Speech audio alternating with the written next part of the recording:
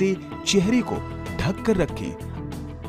छींकते या खांसते समय नाक और मुँह को रुमाल या टिश्यू से ढकें। प्रयोग किए गए टिश्यू को तुरंत कूड़ेदान में डालें। सामाजिक आयोजनों और भीड़ भाड़ वाली जगहों से दूर रहें।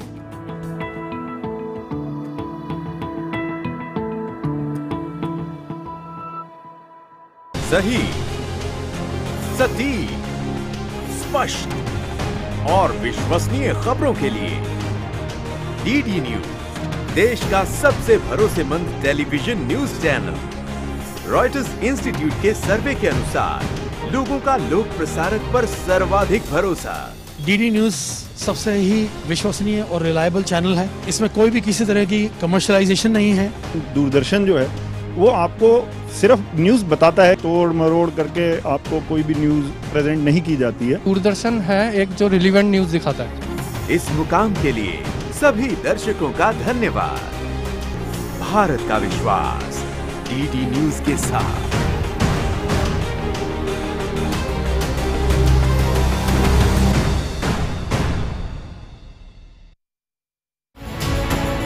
Bolster the confidence of the parents who are watching the show, your message, uh, Dr. Biswas, very important. Uh, clinical trials, the results that have come so far, and there's no need. Uh, th- there cannot be a room for vaccine hesitancy when it comes to administering vaccine to kids. 13 to 18, the trials are almost complete. Their vaccination will start very soon. Between 2 to 12, for that category, trials are on. And regarding vaccine, let me tell you, vaccine can protect the person and everybody who come in the category, they must be vaccinated. We want to get rid of COVID. Vaccine, vaccine and vaccine, the last word. We have to vaccinate a reasonable number of population.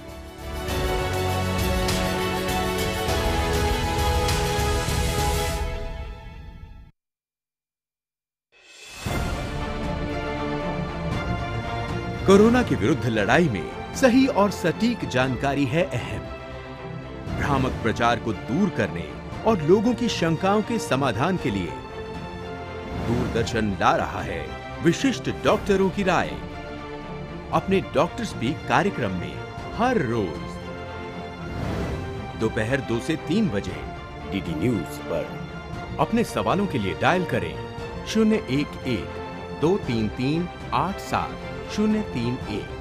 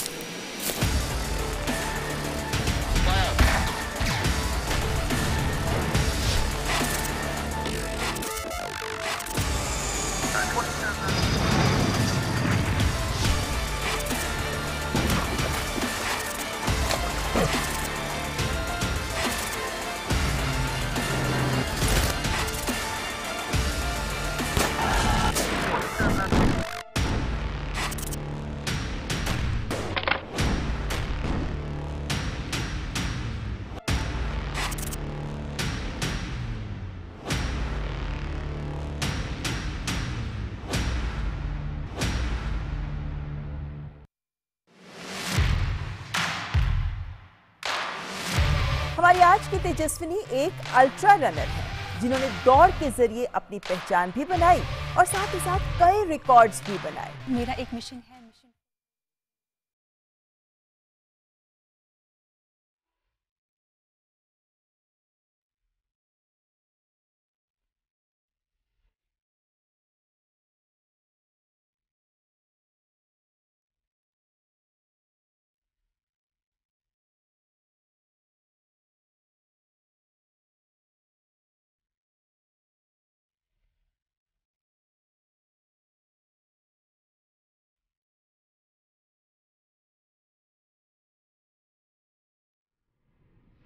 नमस्कार।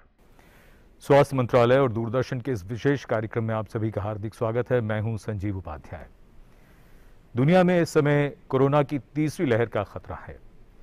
हमारे देश में ये लहर कितनी तीव्र होगी, ये दो बातों पर निर्भर करेगा कि हम सेफ्टी प्रोटोकॉल, यानी कोरोना अप्रोप्रिएट बिहेवियर का कितना पालन करेंगे और कैसे करेंगे, और साथ ही टीकाकरण। इन दोनों बातों की जो महत्ता है और इनका जो महत्व है, उसको समझने के लिए बार बार सरकार द्वारा प्रयास किए जाते हैं और इस कार्यक्रम के माध्यम से भी हम आपको बताने की कोशिश करते हैं कि आपको क्या करना है और क्या नहीं करना है।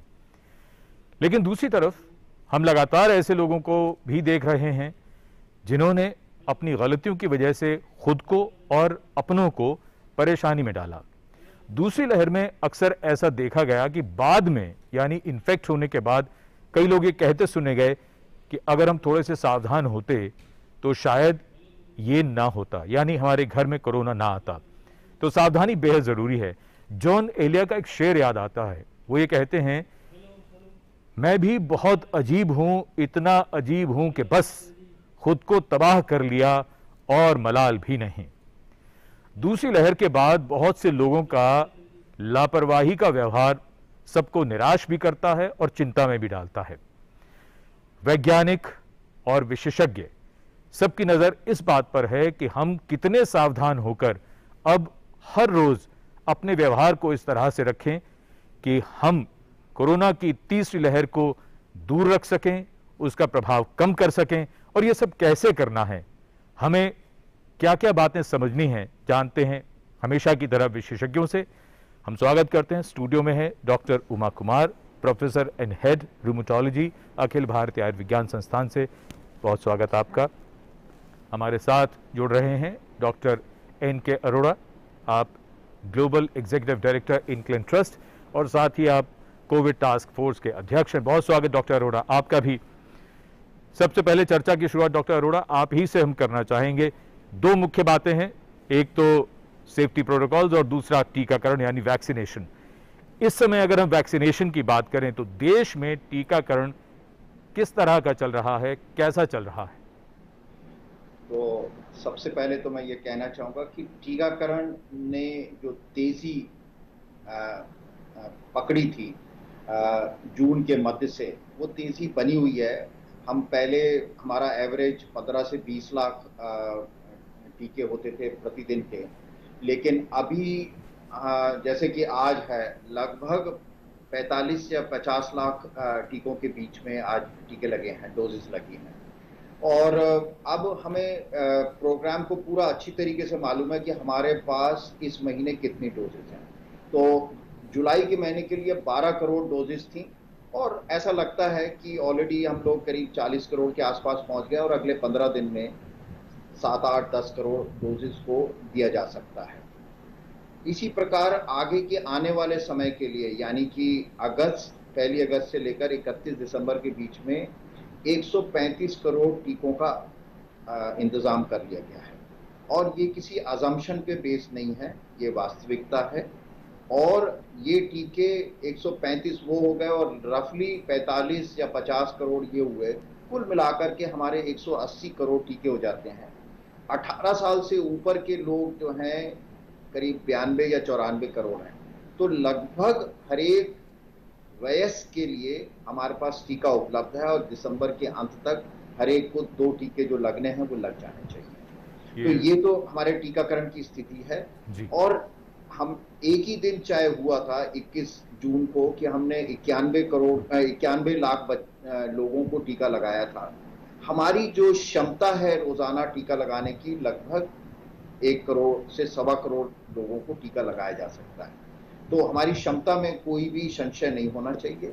और जैसे जैसे टीके उपलब्ध होते चले जा रहे हैं और प्रदेशों की तरफ़ से अब बहुत अच्छा एक अरेंजमेंट किया जा रहा है मैनेजमेंट सप्लाई का और डिलीवरी का, जिससे कि पहले से ही मालूम होता है कि आज के दिन, यानी कि आप कल शाम को ये देख सकते हैं डैशबोर्ड पे कि आज जैसे 17 तारीख है तो 18 तारीख को कितने टीकाकरण केंद्र होंगे और कहाँ कहाँ होंगे, पहले से मालूम है, वहाँ पर टीका पहुँच गया तो सप्लाई चेन का सिस्टम पहले से बहुत बेहतर हो गया है।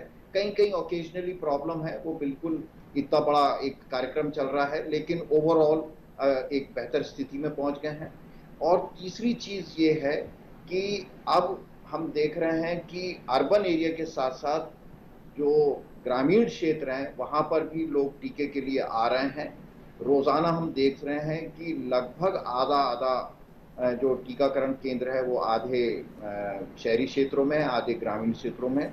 और अल्टीमेटली जैसे कि हम सबको मालूम है, लगभग पैंसठ से सत्तर प्रतिशत हम लोग जो हैं वो ग्रामीण क्षेत्रों में रहते हैं। और देश के हर कोने में हमारे टीकाकरण कार्यक्रम की पहुँच है। डॉक्टर अरोड़ा आपने कहा कि हमारी क्षमता जो है इस समय एक से सवा करोड़ टीके लगाने की है। तो तो हम ये कब तक कब तक इस लक्ष्य को हम प्राप्त कर लेंगे? कब से हम ये लगाना शुरू कर देंगे? कितने समय में? एक महीने में? डेढ़ महीने में? तो ये सारे टीका टीकों की उपलब्धता पे है। जैसे जैसे टीके की उपलब्धता इस महीने में 12 अच्छा। करोड़ टीके की उपलब्धता थी तो उसके हिसाब से उसको डिस्ट्रीब्यूट किया। अब अगले महीने में लगभग अगर हमारे पास 20 करोड़ टीके होते हैं हमारे पास तो वो रोज़ाना मतलब आप महीने में करीब 25 दिन काम करते हैं। और बढ़ते बढ़ते हमारे सितंबर अक्टूबर में हमारे पास 35 30 से 35 करोड़ टीके हमारे पास हर महीने उपलब्ध रहेंगे। तो टीकों की उपलब्धता टीकाकरण केंद्र और उसका फैलाव ये तीनों की तीनों चीज़ें एक साथ देखी जाती हैं। और उस हिसाब से हम देख रहे हैं कि पिछले लगभग चार हफ़्ते, पाँच हफ़्ते में औसतन हर टीकाकरण केंद्र पर 120 से 150 टीके लगाए जा रहे हैं। अगर आप एक एवरेज निकालें, औसत निकालें तो वो स्थिति है हमारी। जी। टीकाकरण के साथ साथ टीकों पर भी बहुत सारे सवाल हैं, वो भी हम आपके पास आएँगे फिर से, डॉक्टर अरोड़ा। डॉक्टर उमा एक बात, टीकाकरण बहुत ही महत्वपूर्ण पूरे दुनिया में सबने माना है कि चाहे कुछ भी करिए, लेकिन टीका तो लगवाना ही है। कोरोना से बचने के लिए बहुत ज़रूरी है और तभी हम दुनिया को कोरोना मुक्त कर सकते हैं। लेकिन दूसरी तरफ़ है व्यवहार बदलने वाली बात कि अपने आप को ढालना है। इस तरीके से कि हमारा कोरोना अप्रोप्रिएट बिहेवियर कभी भी कमज़ोर ना पड़े। अगर हम बात करें पिछले 18 महीनों से, बहुत से लोग कहते हैं फटीग हो गया है अब उनको, कुछ लोग घरों में हैं तो किस तरीके से इस बीमारी ने परिवार के हर सदस्य पर असर डाला है। देखिए सबसे पहले तो मैं ये कहना चाहूँगी कि जो लोग कह रहे हैं कि फटीग हो गया है राइट तो उनको ये समझना चाहिए कि ज़िंदगी सिर्फ़ एक दिन की नहीं है एक साल की नहीं है। ज़िंदगी के बहुत सारे साल होते हैं।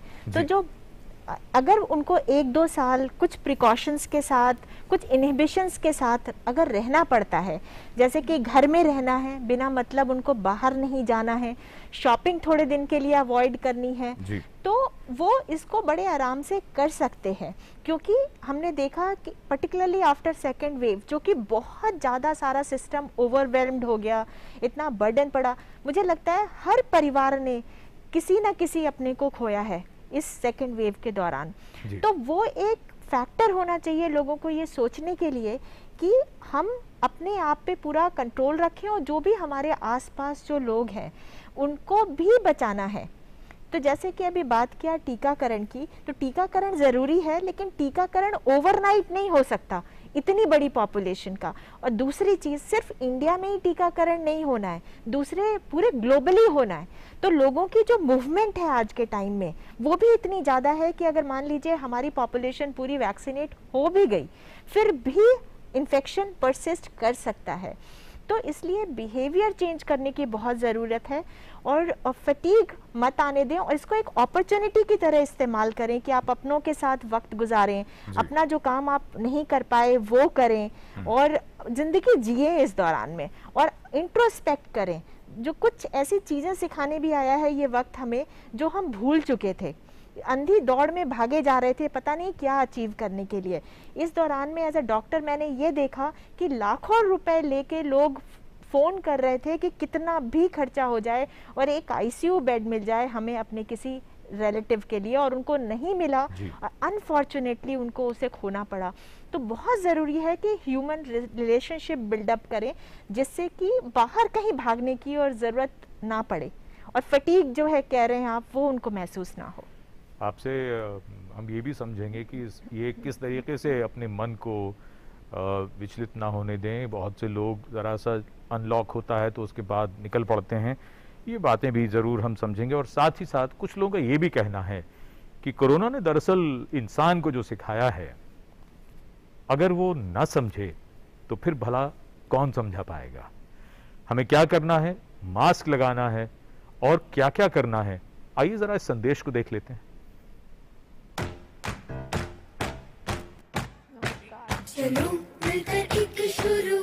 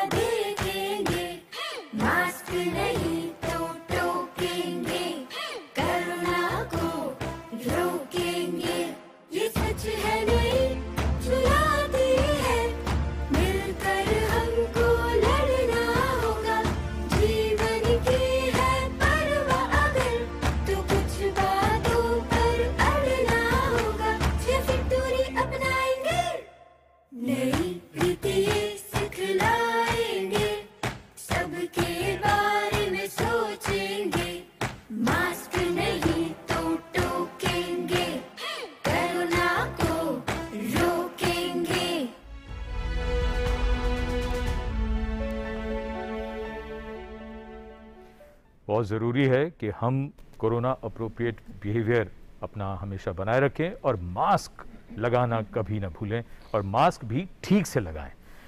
और इस समय कार्यक्रम में हमारे साथ जुड़ गई हैं स्टूडियो में डॉक्टर नीचा भाटला आप professor and head obstetrics and gynaecology AIIMS बहुत स्वागत आपका। आप past chairperson FOGSI committee FOGSI यानी federation of obstetrics and gynaecological societies of India बहुत स्वागत डॉक्टर नीरजा आपका। चर्चा की शुरुआत ब्रेक के बाद हम कर रहे हैं। तो आपसे हम यहाँ ये समझना चाहेंगे कि टीकाकरण की जैसे बात चल रही थी अभी, टीकाकरण अगर महिलाओं में और ख़ास तौर पर अब जो दो गाइडलाइंस और आ गई हैं कि लेक्टेटिंग मदर्स की और प्रेग्नेंट वुमेन की, ये कितना महत्वपूर्ण हो जाता है और ख़ास तौर पर भारत के अगर हम परिप्रेक्ष्य में देखें तो? ये एक बहुत इंपॉर्टेंट स्टेप फॉरवर्ड हुआ है हमारी सरकार की ओर से। क्योंकि करीब 28 लाख महिलाएँ हैं जो इस आ, आ, में अफेक्ट हो जाती हैं। और इनका ना वैक्सीनेशन ना पाने से हमने देखा कि सेकेंड वेव में बहुत ज़्यादा समस्याएँ हुई मदर्स को भी और उनके बच्चों को भी गर्भवती महिलाओं के होने वाले बच्चे को भी। क्योंकि बहुत सिवियर वेव हुआ। पहली वेव में ये नहीं देखा गया था पर दूसरी वेव में मदर्स uh, के uh, बहुत ज़्यादा आईसीयू एडमिशन्स हुए बहुत ज़्यादा वेंटिलेटर पे गई और इस दौरान इनके बच्चों की या तो प्रेमेच्योर डिलीवरीज भी हुई स्टिल बर्थ्स भी हुए या कभी कभी समय से पहले डिलीवर करना पड़ा माँ के हेल्थ के कारण। तो बहुत ज़्यादा हमारी जो संस्था फॉक्सी है अठतीस हज़ार इसके मेंबर हैं देश में सबने बहुत ज़ोर दिया कि ये उपलब्ध होना ही चाहिए। तो जैसे ही कोविड वर्किंग ग्रुप को तसल्ली हुई कि इसका डेटा ठीक है, गर्भवती महिलाओं को देना सेफ़ है, उनके बच्चों पे आँच नहीं आएगी, बल्कि फ़ायदेमंद रहेगा इस दौर में तो इस चीज़ का तुरंत अप्रूवल दिया गया है। और ये बहुत ज़रूरी है कि हम फटाफट वैक्सीनेशन लगवाएँ, ताकि कभी आगे थर्ड वेव आने से पहले अब जितनी गर्भवती महिलाएँ हैं वो पहले से सुरक्षित हो सकें।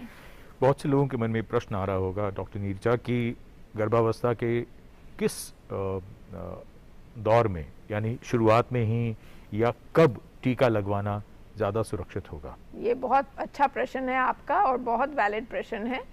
और ये देखा गया है कि इसको किसी भी ट्राइमेस्टर में लगाया जा सकता है। इससे बच्चे के ऊपर कोई इफ़ेक्ट नहीं आएगा उसके बनावट पे या उसकी फ़ंक्शन बच्चे की किसी प्रकार से भी तो जल्द से जल्द लगवाने की सलाह दी जा रही है। क्योंकि जैसे आप जानते हैं, कुछ गैप पे ही लगता है दूसरा डोज और हम चाहते हैं कि प्रेगनेंसी के बहुत एडवांस होने से पहले एंटीबॉडी का टाइटर अच्छा रोबस्ट हो जाना चाहिए। कुछ उम्मीद ये भी है कि शायद ये बच्चे के तरफ़ भी ट्रांसफ़र होके बच्चे को भी सुरक्षा दें। बट मेन माँ को देखते हुए थर्ड ट्राइमेस्टर आने से पहले यदि टीके लग जाते हैं तो वो बेहतर होगा। जी। डॉक्टर अरोड़ा, हम आपके पास आना चाहेंगे चर्चा में और ये समझना चाहेंगे कि इस वक्त बहुत जब भी तीसरी लहर की बात होती है तो इस बात को लेकर बात होती है कि तीसरी लहर अगर आएगी तो बच्चों के लिए बड़ा खतरा है और फिर उससे जुड़ा हुआ जो एक और जो इशू है वो है टीकाकरण का कि बच्चों के लिए टीकाकरण। इस वक्त ट्रायल्स भी चल रहे हैं और ये भी खबरें आ रही हैं कि शायद बहुत जल्द बच्चों के लिए वैक्सीन उपलब्ध होगी। आपकी क्या राय है इस बारे में? और अगर वैक्सीनेशन होगा बच्चों का तो कहीं रिपोर्ट ये भी है कि दो से अठारह साल या क्या है नीति इस समय? संजीव ये बहुत महत्वपूर्ण सवाल है। अभी कार्यक्रम शुरू होने से पहले आ, हम बात कर रहे थे। जी हाँ जी हाँ। पौंडीचेरी के बारे में जी। तो मेरी इसी बीच में वहाँ के डायरेक्टर साहब से बात हुई। अच्छा।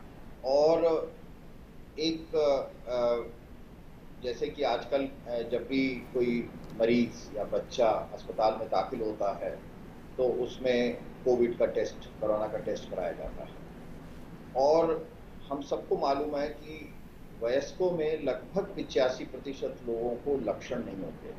जिसको खाली संक्रमण होता है लेकिन कोई लक्षण नहीं होता बच्चों में ये जो संख्या है लगभग 90 से पिचानवे प्रतिशत होती है। तो अगर आप आपके चारों तरफ़ जैसे पौंडचेरी में इस समय बहुत इन्फेक्शन चल रहा है जी। तो बच्चों के अंदर भी वायरस घूम रहा है लेकिन वो उनमें कोई लक्षण नहीं है। जब वो अस्पताल में आते हैं तो उनकी सबका जाँच होता है। और किसी को दिल में छेद की बीमारी है या किसी को कोई टाइफाइड हुआ हुआ है कोई दूसरी बीमारी है या किसी को कैंसर है और उसका जाँच किया गया तो उसमें अगर R T P C R positive आया तो इसका मतलब ये नहीं है कि वो कोरोना की वजह से बीमार है। और यही एक तरह से गलत खबर फैली या फैलाई गई कि भाई बच्चों में बहुत ज़्यादा एकदम 40-50 बच्चों में ये इन्फेक्शन हुआ। जी। तो ऐसा नहीं था। ये मैं अभी अभी उनसे एक तरह से अपना संशय दूर करने का प्रयास किया है।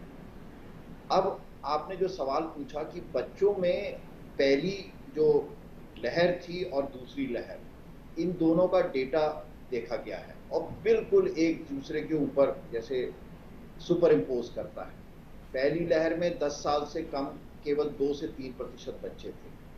दूसरी लहर में भी दो से, दस साल से कम, दो से तीन प्रतिशत बच्चे ही थे। और जहाँ तक मृत्यु है, कुल मिला के टोटल जो मृत्यु का आंकड़ा था, उसमें पॉइंट टू परसेंट जो थे, दस साल से कम के बच्चे थे। कहने का अभिप्राय ये है कि बच्चों में इस बीमारी का दूसरी लहर में भी कोई विशेष, जिसको कहते हैं प्रभाव या प्रेडिलेक्शन नहीं था कि बच्चों में विशेष उसका दुष्प्रभाव देखा गया। ऐसा लगता है कि आगे आने वाले समय में भी ऐसा नहीं होगा, बल्कि ईश्वर की कृपा है बच्चों पे कि 10 साल से कम के छोटे बच्चों पर ये बीमारी का बहुत असर नहीं होता। अगर लक्षण होते भी हैं तो एक जुकाम की तरह खांसी जुकाम होता है और ठीक हो जाता है। बहुत ही रेयरली कभी कभार जो है उनमें समस्या होती है। अब रही बच्चों में टीकाकरण की बात। तो ये एक गर्व की बात है कि हमारे, मेरे को लगता है अगले दो तीन हफ़्ते में ये टीका मार्केट में उपलब्ध हो जाएगा, लोगों के लिए उपलब्ध हो जाएगा और वो है कैडिला का कैडिला जाइडस का डीएनए वैक्सीन ये दुनिया की पहली डीएनए वैक्सीन है और 12 साल से 18 साल के बच्चों को भी इस ट्रायल में इंक्लूड किया गया है। तो उम्मीद है कि 12 से 18 वालों के लिए अगले महीने, दो महीने में इसके लिए एक तरीके से डीसीजीआई से परमिशन मिल सकती है। इसके अलावा जो हमारी एक भारतीय वैक्सीन है कोवैक्सीन उसका ट्रायल भी चल रहा है दो साल से अठारह साल के बच्चों में। और वो अक्टूबर तक उसकी भी रिजल्ट्स आ जाने की संभावना है।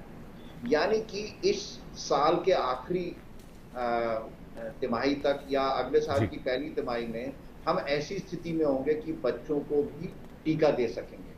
तो जहाँ तक एक साइंटिफिक सोच है कि सबसे पहले जो वयस्क हैं उनको टीका लग जाए। जैसे कि शुरुआत हमने करी कि टीके का जो अरेंजमेंट किया गया है बड़े वयस्कों के लिए उनको टीका लग जाए। क्योंकि बच्चों में विशेष प्रभाव नहीं होता। मृत्यु की संभावना, अस्पताल में दाखिल होने की संभावना आईसीयू की रिक्वायरमेंट ये सारी वयस्कों में होती है। तो अगर हमारे वयस्क एक उसमें प्रतिरोधक क्षमता पैदा हो जाती है तो एक बहुत बड़ा हमारे लिए सुकून का विषय रहेगा। और इस बीच में अगर स्कूल खोले भी जाते हैं तो उसमें कोई खास समस्या नहीं है, क्योंकि जैसे जैसे लहर, दूसरी लहर बढ़ी है, बहुत सारे लोगों को प्रभावित हुए हैं। बच्चों को विशेष प्रभाव पड़ने वाला नहीं है। एक चीज़ और भी सोचने की ज़रूरत है कि 18 साल से हमारे देश में लगभग 40 करोड़ लोग हैं। 40 करोड़। यानी कि अगर हमें उन बच्चों को टीका लगाना है तो हमें 80 करोड़ टीके और चाहिए होंगे। लेकिन हमारे लिए इस समय प्रमुखता है, प्रायोरिटी है कि वयस्कों को टीका लग जाए। क्योंकि वो बीमार होने की संभावना उनके अस्पताल में दाखिल होने की संभावना मृत्यु की संभावना। तो लवो लबाब ये है कि एक तरफ़ हम बच्चों का ध्यान कर रहे हैं उनके लिए वैक्सीन पर ट्रायल हो रहा है और साल के आखिर तक हमारे पास वैक्सीन उनको देने लायक एक हमारे पास रेगुलेटरी रिक्वायरमेंट पूरी हो जाएगी। लेकिन साथ ही साथ हमारा जो इस समय मुख्य मुद्दा है कि बड़ों को वयस्कों को पूरी तरह से सुरक्षित किया जा सके। बिल्कुल। और इस समय हम अपने दर्शकों को वो टेलीफोन नंबर बताना चाहेंगे, जिस पर फ़ोन करके वो इन विशेषज्ञों से प्रश्न पूछ सकते हैं और उत्तर पा सकते हैं। आप नंबर नोट करें, टेलीविज़न स्क्रीन पर वो नंबर 011 दिल्ली का एस कोड और स्टूडियो का number two three zero nine seven five three two. इस नंबर पर फ़ोन कर सकते हैं आप। डॉक्टर उमा आपसे हम ये समझना चाहेंगे, जो बात वैक्सीनेशन को लेके चल रही है, दुनिया भर से अब इस तरह की बातें आ रही हैं कि आप एक वैक्सीन की डोज एक कंपनी की लीजिए और दूसरी वैक्सीन कोई और ले लीजिए। तो मिक्सिंग जो है वैक्स वैक्सीन की, इसको लेकर और कुछ जगह ये भी कहा जा रहा है कि अभी अभी कुछ अर्ली डेटा जो आ रहा है वो ये बता रहा है कि उससे ज़्यादा अच्छा जो प्रोटेक्शन है वो मिल रहा है। आप क्या इस पर हमारे दर्शकों को बताना चाहेंगी, ख़ासतौर से भारत के संदर्भ में? देखिए एक कुछ स्टडीज़ आए हैं पर्टिकुलरली स्पेन से जो स्टडी आई उसमें ये कहा गया कि पहली डोज कोविशील्ड की दी गई और जो सेकेंड डोज थी वो फाइज़र की दी गई। तो उन्होंने पाया कि जो एंटीबॉडीज़ बने कोरोना के अगेंस्ट वो काफ़ी ज़्यादा थे। इन कंपैरिजन टू पीपल जिनको सिर्फ़ एक ही मैन्युफैक्चरर की दोनों डोजेस दी गई थी। तो ऐसा डेटा आ रहा है लेकिन अभी ये रिकमेंडेड नहीं है कि कोई अलग अलग मैन्युफैक्चरर्स की दो वैक्सीन ले। यही प्रेफरेबल है कि जिसकी एक वैक्सीन लगी है जिस मैन्युफैक्चरर की सेकंड भी उसी की लगनी चाहिए। लेकिन वी आर होपफुल कि हो सकता है ऐसा पॉसिबल हो। और जहाँ तक आपने कहा कि uh, जो उनकी इम्यूनिटी ज़्यादा डेवलप हुई तो ये सच बात है कि जब सेकेंड डोज डिफरेंट ब्रांड की दी गई तो उनकी इम्यूनिटी में एंटीबॉडीज़ जो मेज़र किए गए वो काफ़ी ज़्यादा थे उनमें। बट uh, मैं ये कहना चाहूँगी यहाँ पे कि आज की डेट में ये एक्सपेरिमेंट नहीं कर सकते और इंडिया में भी अभी ये रिकमेंडेड नहीं है लेकिन हो सकता है आने वाले टाइम में आ, ये पॉसिबल हो। ये बड़ा महत्वपूर्ण विषय मुझे लगता है डॉक्टर अरोड़ा आप इस पर ज़रूर टिप्पणी करना चाहेंगे। क्या कहना चाहेंगे? संक्षेप में एक टिप्पणी हम ज़रूर चाहेंगे आपसे। ये आ, ये एक वैज्ञानिक प्रश्न है इस समय। इवन जो सेज है डब्ल्यू में अभी मिक्सिंग और मैचिंग के लिए उन्होंने रिकमेंडेशन सुझाव नहीं दिया है। क्योंकि कई बार अभी ये जो उमा जी बता रही थी, जब कोविशील्ड पहले दिया जाता है और बाद में फाइजर तो थोड़े से साइड इफ़ेक्ट बढ़ जाते हैं। तो बिना वैज्ञानिक साक्ष्यों के बिना मिक्स एंड मैच करना बिल्कुल ठीक नहीं रहेगा। और फ़िलहाल जैसे कि बताया कि हमारे यहाँ अभी हम लोग प्रयास कर रहे हैं कि इस तरह की जो है शोध कार्य किए जाए जिससे कि आगे ज़रूरत पड़ने पर कुछ इस तरीके से किया जाए। क्योंकि हमारे पास अल्टीमेटली छः से आठ वैक्सीन होंगी। अब उनका मिक्स एंड मैच करेंगे तो कम से कम ऐसे लगता है चौदह पंद्रह या सोलह कॉम्बिनेशन बन सकते हैं। तो समय आने पर देखेंगे और इसके लिए ऑलरेडी तैयारी शुरू कर। ठीक। डॉक्टर नीरजा हम आपके पास आना चाहेंगे और ये बताइए आपने वैक्सीन के जो लाभ हैं, ख़ासतौर से गर्भवती महिलाओं के लिए जो आपने बताए, यहाँ सेकेंड वेव के दौरान और वैसे भी हमने देखा है कि बहुत सी महिलाएँ जो इंस्टीट्यूशनल डिलीवरी के लिए जब हॉस्पिटल जाती हैं, अस्पताल या किसी भी इस तरह के केंद्र में जाती हैं तो वहाँ जब उनका टेस्ट होता है तो पता चलता है कि वो कोरोना पॉजिटिव हैं। और दूसरी सिचुएशन ये होती है कि वो जब डिलीवरी के बाद घर पहुँचती हैं तो उसके कुछ दिन बाद वो कोरोना पॉजिटिव हो जाती हैं। दोनों ही स्थितियाँ किस तरह की हो जाती हैं और फिर उसमें एक जो सबसे बड़ी समस्या आती है, वो इस बात को लेकर आती है डिलीवरी के बाद, प्रसव के बाद, वो ये कि बच्चे को दूध पिलाना, घर के लोगों के सामने एक सबसे बड़ा प्रश्न होता है कि भाई माँ को तो कोविड हो गया है, अब ये बच्चे को दूध पिलाएँ कि ना पिलाएँ? ये वाकई काफ़ी कॉमन सिचुएशन रहा है, क्योंकि ये रिकमेंडेशन है कि हर गर्भवती महिला जहाँ तक हो सके जब वो अस्पताल आए डिलीवरी के लिए किसी भी फैसिलिटी में जाए तो जहाँ पे भी ये फैसिलिटी है टेस्ट करने की वो टेस्ट किया जाए। ये ज़रूरी नहीं है कि अगर टेस्ट की फैसिलिटी नहीं है तो उसकी डिलीवरी नहीं होगी और उस कारण उसको कहीं रेफ़र अच्छा। किया जाएगा। वो फिर वहीं होगा लेकिन यदि फैसिलिटी है तो टेस्ट किया जाएगा। तो ज़ाहिर है ये महिलाएँ जनरली स्पीकिंग इनके कोई सिम्टम्स कोई लक्षण नहीं होते हैं और इनको टेस्ट के दौरान पाया जाता है। कुछ ज़रूर होती हैं जिनके सिम्टम्स भी होते हैं। तो इट डिपेंड्स कि इनका क्या सिचुएशन है। यदि ये किसी कारण से एडमिट होनी थी क्योंकि अभी कोई जैसे प्रेगनेंसी रिलेटेड प्रॉब्लम है, लेकिन डिलीवरी के टाइम दूर है। तो लाइक नॉन प्रेग्नेंट पेशेंट अगर वो सिंपल इन्फेक्शन एसिम्टोमेटिक है तो वो घर पे भी मैनेज हो सकती है, या अगर उसको एडमिशन की ज़रूरत है तो फिर कोविड सेंटर में होनी है। सिमिलरली अगर उनकी डिलीवरी का टाइम आ गया था तो अब उनकी डिलीवरी कोविड सेंटर में होगी, ना कि एक नॉर्मल लेबर रूम में। लेकिन जहाँ तक के फ़ीड करने की बात आती है तो फीडिंग इज़ इनक्रेज करना चाहिए रिकमेंडेड है। तो फीडिंग के लिए माँ को, बस जैसे हम बता रहे हैं, सबको मास्क पहनिए, हाथ साफ़ करिए सैनिटाइज करिए और बेबी को फ़ीड करिए। और उसके बाद फिर बेबी को थोड़ा सा डिस्टेंस पे रख दीजिए जिस प्रकार से हम बाकियों के लिए कह रहे हैं। तो उससे बेबी को ब्रेस्ट फ़ीड के लाभ ज़्यादा और इससे रिस्क कम है। और जैसे डॉक्टर अरोड़ा ने भी बताया बच्चों में इस प्रकार से समस्या नहीं आती है। तो अब इसका तो काफ़ी एक्सपीरियंस हो गया देर इज़ नो डाउट एक सूरत आपने बताई जहाँ उसको नहीं था और फिर जब वो डिलीवरी के बाद गई तो पता चला कि पॉजिटिव हो गई। हम्म। तो दैट कुड बी पॉसिबल कि कहीं से उन्होंने इन्फेक्शन कैच कर लिया हो।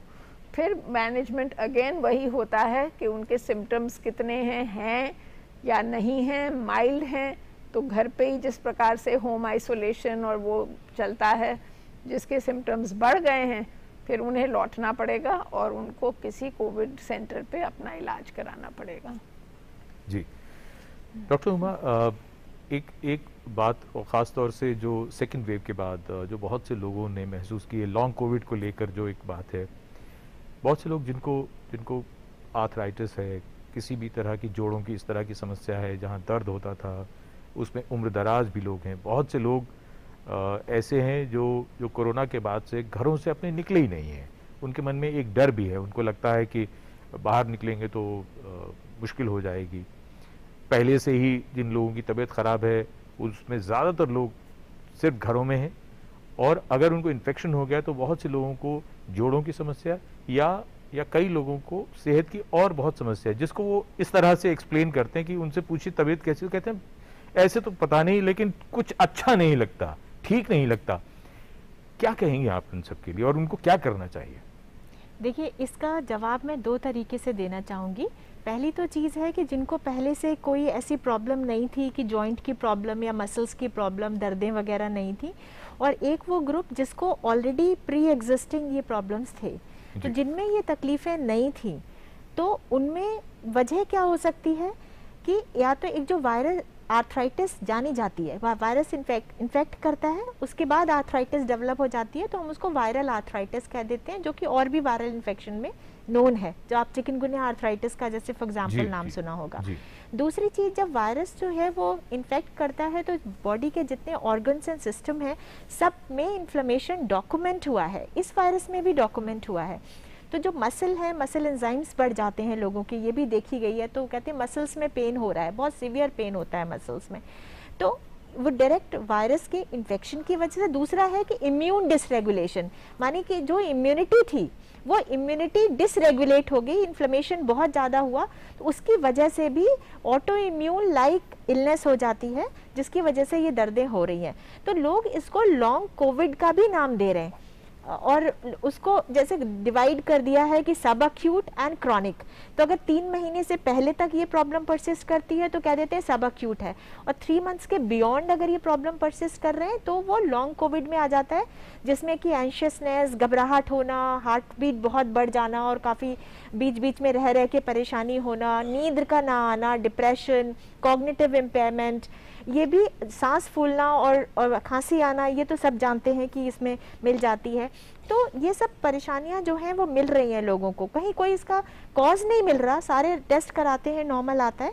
लेकिन ये देखा गया स्टडी में कि जिन लोगों को माइल्ड कोविड था और उनका कार्डियक असेसमेंट किया गया आफ्टर अ मंथ तो ये पाया गया कि उनके हार्ट में उस समय भी सूजन थी।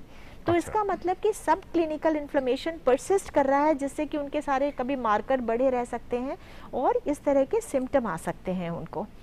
जी। और जो आप बात कह रही थी मुझे लग रहा था मैं भूल ना जाऊँ। इन सिम्टम्स में बहुत से लोगों को कंसंट्रेशन एकाग्रता में कमी है यादाश्त में बहुत लोगों को कमी है। कई लोग ये शिकायत करते हैं कि कोरोना हो गया उसके बाद से हम भूलने भी लगे हैं। तो अब शायद आप सबके लिए एक और ये नया विषय होगा शोध का। ऑलरेडी बड़ी सारी रिसर्चेस चल रही हैं। फ़िलहाल महाराष्ट्र से हमारे एक दर्शक हैं अरुण वाघरे। अरुण जी बहुत स्वागत। क्या जानना चाहते हैं बताइए। जी अरुण जी सवाल पूछिए। हाँ जी सर मैं आप सबको नमस्कार मेरा। हमारा भी नमस्कार आपको। जी पूछे हाँ सर मैं ये पूछना चाहता हूँ मुझे दो डोज लग गए हैं। ठीक है। तो ये बूस्टर डोज लेना पड़ेगा क्या तीसरा? अच्छा। ओके। डॉक्टर उमा आप बताना चाहेंगे? जी देखिए अभी तक की जो रिकमेंडेशन है वो ये है कि दो डोजेस सफिशियंट हैं प्रोटेक्ट करने के लिए। हम्म। लेकिन तीसरी डोज की बात जो कहीं कुछ कंट्रीज़ में चल रही है वो उन लोगों के लिए बात की जा रही है जिनका इम्यून सिस्टम वीक है।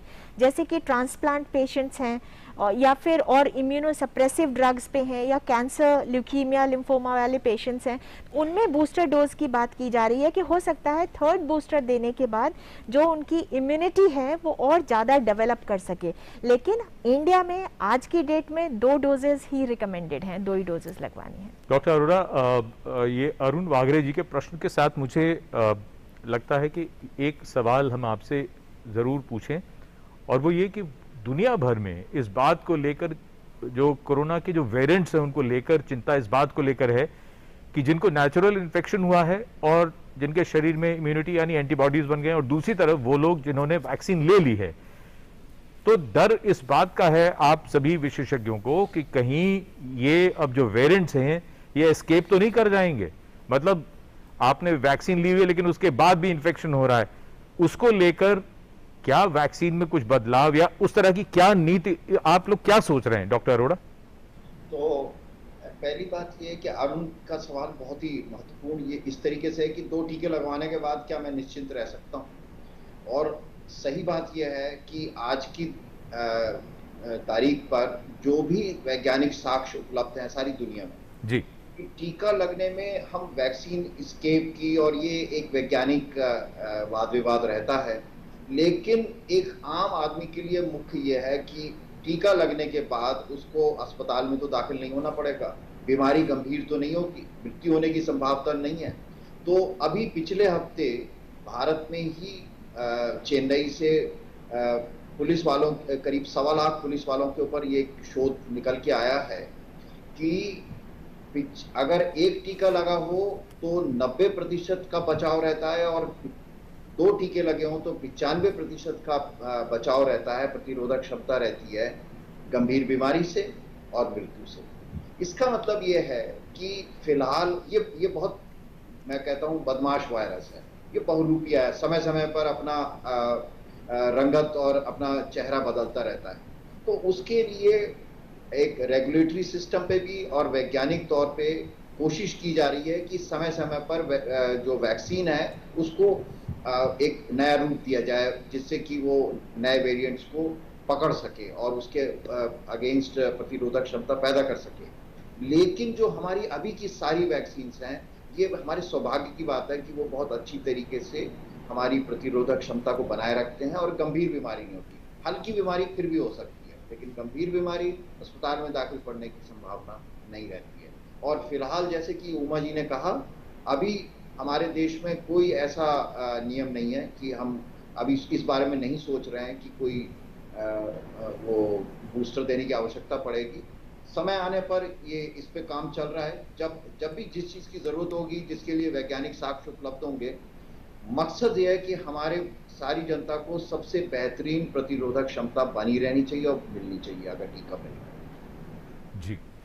और हमारे एक दर्शक गाजियाबाद से गौरव जी हैं टेलीफोन लाइन पर। गौरव जी सवाल पूछ सकते हैं आप। गौरव जी अगर आप हमें सुन रहे हैं तो सवाल पूछ सकते हैं।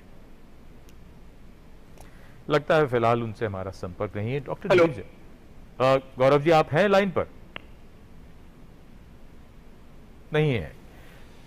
डॉक्टर नीरजा ये जो बात अभी डॉक्टर अरोड़ा ने कही कि अभी ऐसी कोई योजना नहीं है और और समय समय पर हम रिव्यू करते हैं। बहुत से लोगों के मन में और मैं चाहूँगा डॉक्टर उमा आप आपकी भी टिप्पणी इस पर। आ, बहुत से लोगों के मन में मन में क्या बल्कि वो कहते भी हैं कि कोविड को लेकर बहुत से प्रोटोकॉल जो हैं वो बदलते रहते हैं। आज ये है कल को वो बदल जाता है। एक डॉक्टर एक विशेषज्ञ और साइंटिस्ट के तौर पे आप सबका क्या कहना बताइए। ये बहुत इंपॉर्टेंट रहा है क्योंकि हमारे पास इसके बारे में कोई नॉलेज नहीं थी। एक नया वायरस जब आया, नई बीमारी आई है, और जैसे डॉक्टर अरोड़ा ने कहा, ना कि एक नई आई है बट वो बदल बदल के भी उसके रूप आ रहे हैं। तो इसमें हमें कॉन्स्टेंटली वो एक्शन एंड रिएक्शन टाइप की सिचुएशन रखनी पड़ती है। तो कॉन्स्टेंटली डेटा मॉनिटरिंग चल रही है। कॉन्स्टेंटली रिपोर्ट्स पे नज़र है कि इंडिया से क्या रिपोर्ट आई है विदेश से क्या रिपोर्ट आई है। अब हमारे लिए क्या बेस्ट है? तो एग्जिस्टिंग नॉलेज के ऊपर हम चलते हैं जब और एक स्ट्रैटेजी बनाते हैं और फिर हम लगातार उसको रिव्यू और ऑडिट भी करते रहते हैं कि इसमें कितना हमें फ़ायदा और कितना नुकसान रहा है और आगे चल के क्या उसका रुख चल रहा है। कुछ मॉडलिंग के ऊपर बेस्ड है, कुछ एक्चुअल डेटा के ऊपर बेस्ड है, पर दोनों तरीकों से देखते हुए हम रस्ते को थोड़ा बहुत आई वोंट से कोई रेडिकल चेंजेस हुए हैं पर मॉडिफिकेशंस हुए हैं तो वो वर्जन्स बदलते रहते हैं कि अब आज की तारीख में अब आप इस चीज़ को फॉलो करिए। और वो बहुत इंपॉर्टेंट है to get the proper outcome absolutely और आ, हम इसको आ, आ, आगे और भी आप विशेषज्ञों से पूछे हैं उससे पहले हमारे दर्शक सतना मध्य प्रदेश से मनोज सिंह टेलीफोन लाइन पर हैं। डायरेक्ट कनेक्ट हो। जी मनोज सिंह जी आप आप प्रश्न पूछ सकते हैं। मनोज जी सवाल पूछिए।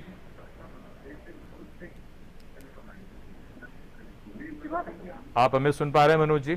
हेलो। जी मनोज जी सवाल पूछिए ना। जी। मनोज सैन बोल रहे हैं। जी। सतना से। जी। अपने टीवी सेट हाँ, आवाज़ कम करके सवाल पूछ लीजिए। जी बताएँ मनोज सर है कि अभी एक हफ्तों पहले जो है तो दो लेडीजों को सुई लगी है लेकिन उनका स्वास्थ्य जब से बिगड़ा तो उनकी डेथ हो गई है कल हुई है।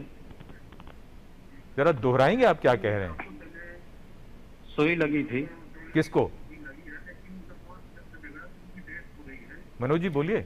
हम तो सुन रहे हैं। इसमें सरकार सरकार क्या एक्शन ले रही है? कुछ उनके लिए? लेडीजों को जो मतलब सुई के माध्यम से उनकी वो हो दे। मनोज जी आपकी बात स्पष्ट नहीं आ रही। आप जरा एक बार में जरा अपनी बात कह दें। आप आप अपने टीवी की आवाज़ बंद करके प्रश्न पूछ लीजिए तो उत्तर मिल जाएगा। वरना टुकड़ों टुकड़ों में आवाज़ आ रही है आपकी। जी बताएँ। सरे जो सुई लगने से डेथ हो जाती है लेडीजों की। अच्छा। डॉक्टर अरोड़ा। जी हाँ। सरे जो सुई लग जाती है डॉक्टर अरोड़ा ये सवाल ये सवाल आपके लिए बेसिकली वो ये पूछ हैं रही है? कि किसी को एडवर्स इफ़ेक्ट फॉलोइंग इम्यूनाइजेशन और ये तो मृत्यु की बात कर रहे हैं। तो क्या ऐसे मामले हुए हैं? और अगर ऐसा कोई मामला हो तो उसमें क्या मुआवजा या सरकार की ओर से क्या कदम उठाया जाएगा? कृपया बताएँ। तो आ, मनोज का ये सवाल बहुत ज़रूरी है और आ, इस बारे में बहुत सारी भ्रांतियाँ भी हैं क्योंकि मनोज भी चलते चलते ये कह रहे थे क्या टीका लगने से मृत्यु होने की संभावना होती है। तो मैं ये कहना चाहूँगा क्योंकि वयस्कों को टीका लगाया जा रहा है तो वयस्क खासतौर पे 45 या 50 से ऊपर वाले जिनको बाकी बीमारी भी होती हैं उन लोगों में टीका तो लगाया लेकिन कई बार किसी को हार्ट अटैक भी हो सकता है किसी को ब्रेन में हेमरेज भी हो सकता है। लेकिन एक मुख्य चीज़ है कि वैक्सीन की वजह से तो कोई समस्या हो सकती है कि नहीं हो सकती है? जी। तो हम लोग रेगुलरली इस चीज़ को देख रहे हैं कि वैक्सीन की वजह से कोई नुकसान तो नहीं हुआ। ये देखा गया है कि निन्यानवे चौरानवे पचानवे प्रतिशत लोगों में केवल बुखार हल्का सा दर्द और एक हरारत सी होती है दो तीन दिन के लिए।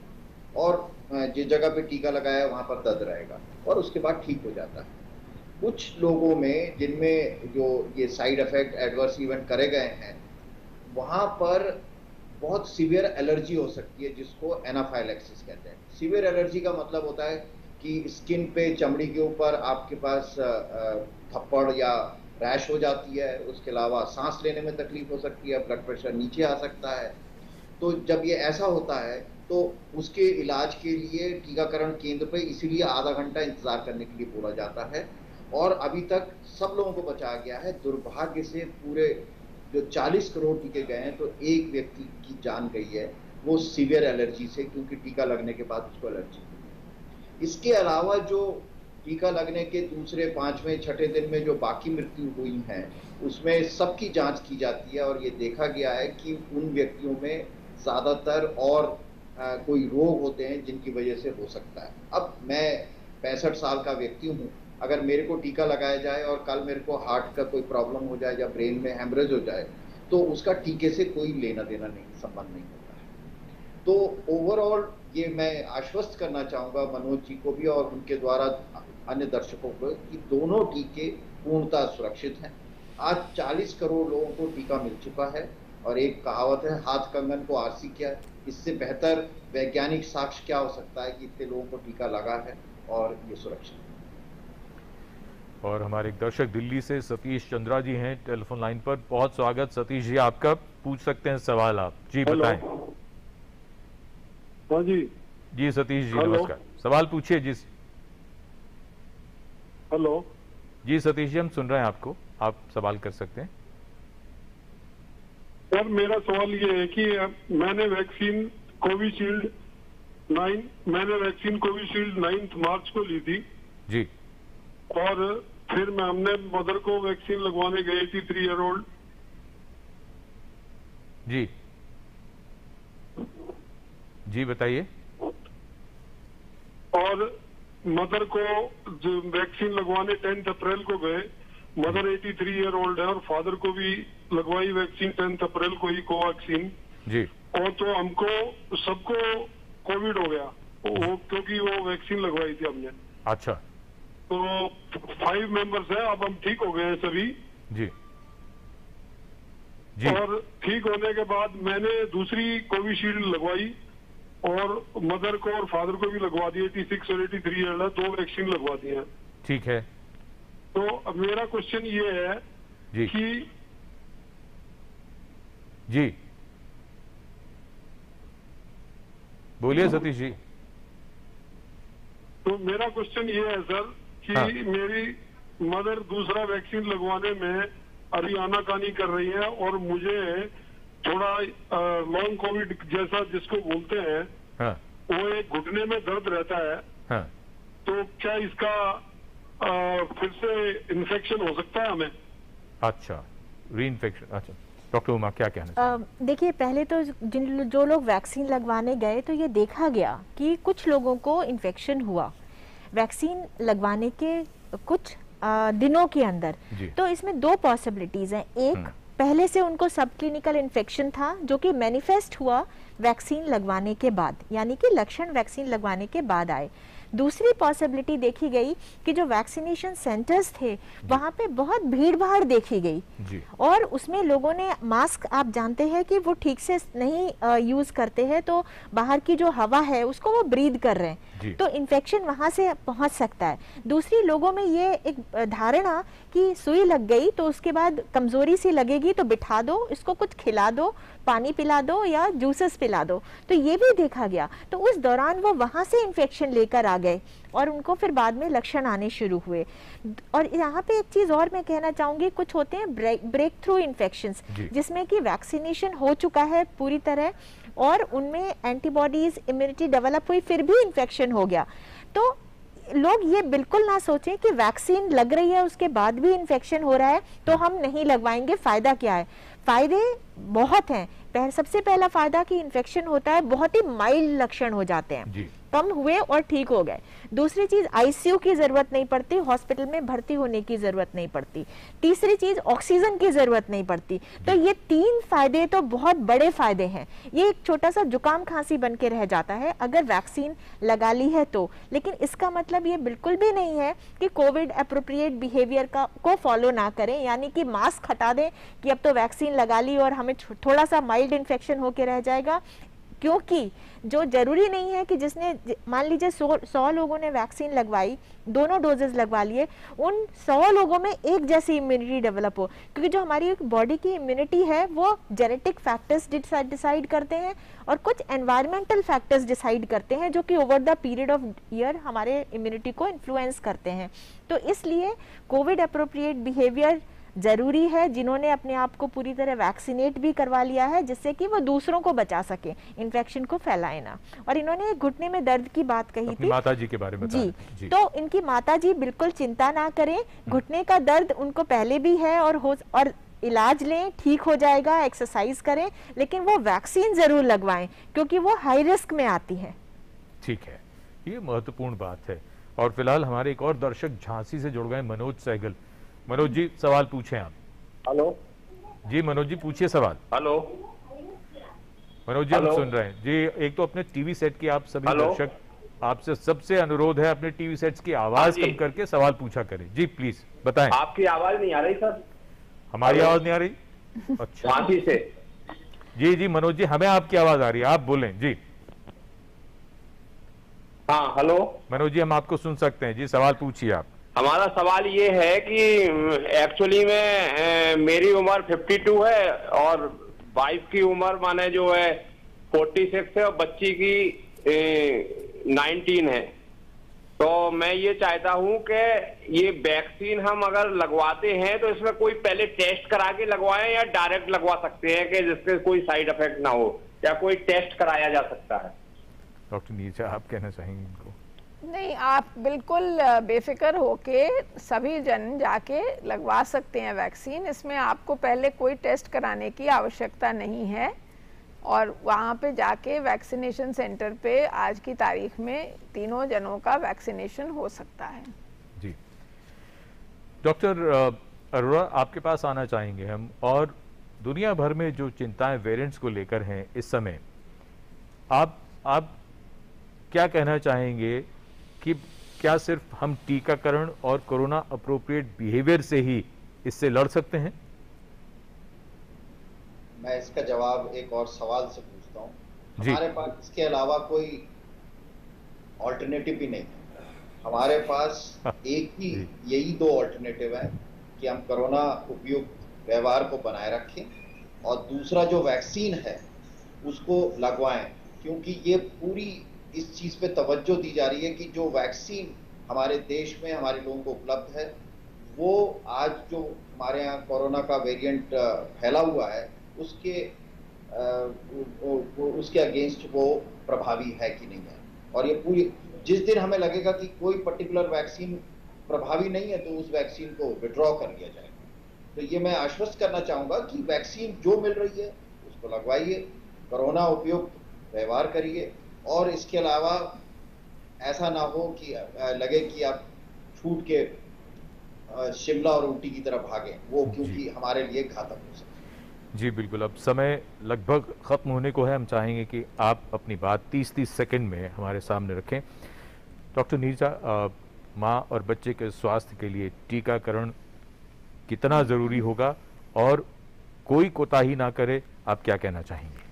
इस विषय में मैं कहूँगी कि जल्द से जल्द लगाएँ और ये ध्यान रखें कि ये टीका फ़िलहाल उनके एंटीनेटल केयर के जो सेंटर बने हुए हैं प्रसूति वाले, उधर नहीं उपलब्ध है। उनको कोविन के थ्रू ही जाना है और कोविड जहाँ वैक्सीनेशन हो रहा है, वहीं लगवाना है। सिवाय महाराष्ट्र में शायद अब कोशिश कर रहे हैं कि उसको टेटनस वगैरह जहाँ लगता है, वहाँ लगे। तो इसके इंतज़ार में ना रहें कि हमारे सेंटर पे जब आएगा तब हम लेंगे। उन्हें इसके लिए कोविन पे रजिस्टर करके जो भी नया नज़दीक केंद्र है उस पे जाके जो भी वैक्सीन उपलब्ध है उसे लगवाना चाहिए। डॉक्टर एन के अरोड़ा विज्ञान वायरस से कब आगे निकलेगा? बहुत जल्द या कुछ समय लगेगा? नहीं वायरस और विज्ञान मेरे हिसाब से साथ साथ चल रहे हैं। जैसे कुछ नई ज़रूरत होती है तो विज्ञान नहीं तो डेढ़ साल के अंदर वैक्सीन इतनी सारी आ जाना। कल मैं लिस्ट देख रहा था इस समय दुनिया में 22 वैक्सीन हैं कोरोना के अगेंस्ट और ये सब डेढ़ साल के अंदर हुआ है। तो ये एक जंग है ये एक लड़ाई है। और मेरे को पूरा विश्वास है कि ह्यूमैनिटी इसमें जीते जीतेगी इसमें जी बिल्कुल। डॉक्टर उमा आप क्या कहना चाहेंगी? खास तौर पे लोगों को वैक्सीन को लेकर बहुत भ्रम है। जैसे अभी हमारे कई दर्शकों ने पूछा कुछ लोग ये भी कहते हैं कि हमने वैक्सीन लगवाई हमारा शुगर लेवल बढ़ गया हमें ये समस्या हो गई। क्या कहना चाहेंगे आप उन सब के लिए जो अभी भी हिचक रहे हैं थोड़ा सा? उन सबको मैं ये कहना चाहूँगी कि कोरोना पर हम पार पाएँगे सिर्फ़ दो चीज़ों से। एक कोविड अप्रोप्रिएट बिहेवियर यानी कि मास्क का इस्तेमाल करें। बिल्कुल भीड़ भाड़ वाली जगहों पर ना जाएँ जब तक ज़रूरत बहुत नहीं है तब तक। और आ, वैक्सीनेशन ज़रूर कराएँ क्योंकि जितना वक्त आप इस वायरस को देंगे और अपने ढुलमुल एटीट्यूड रखेंगे कि चलो कर लेते हैं चलो नहीं करते तब तक ये वायरस अपना स्वरूप बदलता रहेगा और हम सबको टारगेट करता रहेगा और ये ख़त्म नहीं होगा। इसीलिए इस पर डबल मार पड़नी तेज मार पड़नी एग्रेसिवली फॉलो करना बहुत ज़रूरी है। बहुत धन्यवाद doctor Uma doctor Neerja doctor N K Arora आप सभी का बहुत धन्यवाद। कार्यक्रम में शामिल हुए आप सभी। और हमारे सभी दर्शकों का भी धन्यवाद। और चलते चलते वही दो बातें हम सबको याद रखनी है, टीकाकरण और कोरोना अप्रोप्रिएट बिहेवियर हर चीज़ इंतज़ार कर सकती है। त्यौहार भी, बाज़ार जाना भी, शादियाँ भी, सब कुछ इंतज़ार कर सकता है। ज़िंदगी को मौका ज़रूर दीजिए। ज़िंदगी पर यह बीमारी भारी ना पड़े, इसके लिए बहुत ज़रूरी है कि हम सब ये बातें याद रखें। और चलते चलते एक शेर है किसी शायर का कि, शाखें रहीं तो फूल और पत्ते भी आएँगे। ये दिन अगर बुरे हैं तो अच्छे भी आएँगे। बहुत धन्यवाद। नमस्कार।